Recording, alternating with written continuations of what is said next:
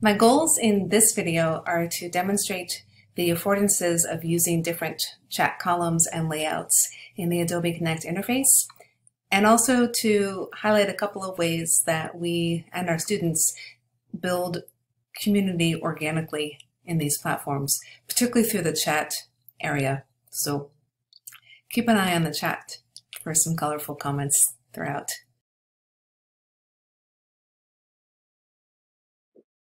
Good afternoon, everybody. Can you hear me and see me? Let me know by typing something in the chat box, please. Yeah, all right. Beautiful. It's so colorful in here. That's so great. I love it. I'm going to go ahead and switch the screens, and there'll be the, there'll be questions on the color article. So follow me to fame and fortune.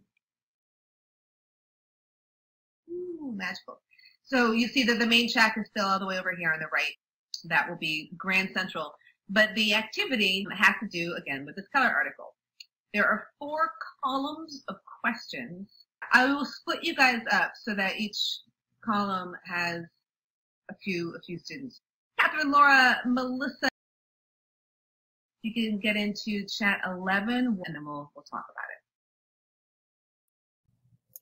One of my favorite things about working in platforms like this is that I can see everybody's responses at a glance, check for understanding, and prepare for the follow-up discussion.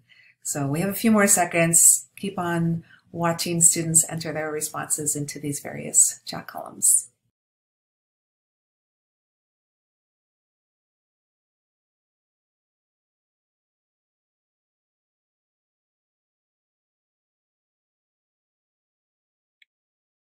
Let's go ahead and look at these chats, uh, the, these responses here.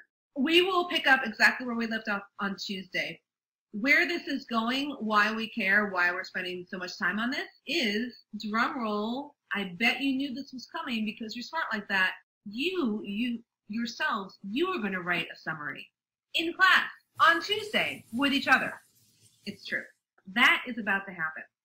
So I know you can't wait. I'm so excited. I know.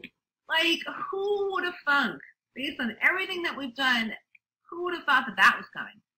So if you have questions, comments, concerns, issues, whatever, hang out here and Lylan and I, or I think Lylan has class, I will respond to you in here. We can go back and forth. Everybody else, eek. Please write two things in the chat box and then class is over. But please write two things in the chat box before you log out. Number one, name one thing that you learned today. And two, just say something nice as you leave the room.